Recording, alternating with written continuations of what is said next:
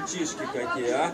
Так вот, для, не только для украшения, но и для того, чтобы заманить в эти магазины покупателей. Потому что реакция людей, взрослых людей конца 19 века на эту игрушку была точно такая же, какая реакция у современных детей. Люди, взрослые, не могли оторвать глаз от таких игрушек.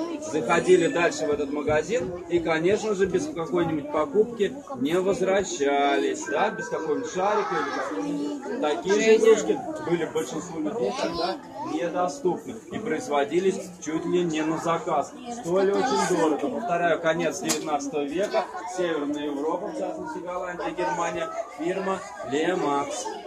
Сейчас этому такие игрушки можно вполне без китайского производства.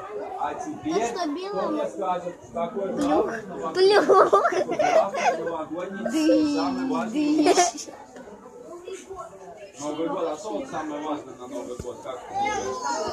Елка, не снег, не Дед Мороз, а именно елка. Так вот, здесь у нас стоит вот эта елка для того, чтобы мы могли под эту елку встать, сфотографироваться, но что самое главное, сказать слова, после которых пойдет волшебный снег.